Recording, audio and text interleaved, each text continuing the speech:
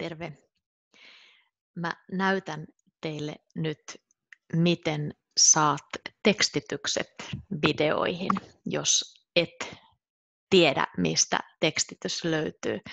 Tietokoneella, kun sä menet tänne meidän sivuille, niin sä aina näet täällä alla, se on varmasti sun omalla kielellä, millä kielellä sä käytät YouTubea.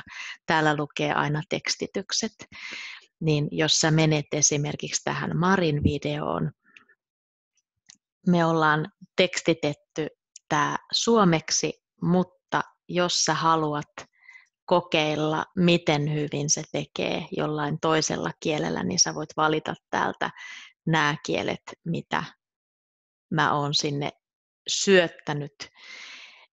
Nämä on Google-kääntäjän tekstityksiä, eli automaattisia tekstityksiä, ne ei ole niin hyviä kuin jos ihminen ne tekee, mutta niistä sä voit suurin piirtein tietää, mitä siellä videossa on. Kokeilin laittaa myös arabian, mutta kertokaa mulle, että onko käännös tosi huono, jos, jos siitä ei voi ymmärtää, niin otan pois. Ja täällä automaattinen käännös, sä voit hakea eri kieliä, mutta jos on harvinainen kieli, niin sitten se ei välttämättä ole niin kauhean hyvä.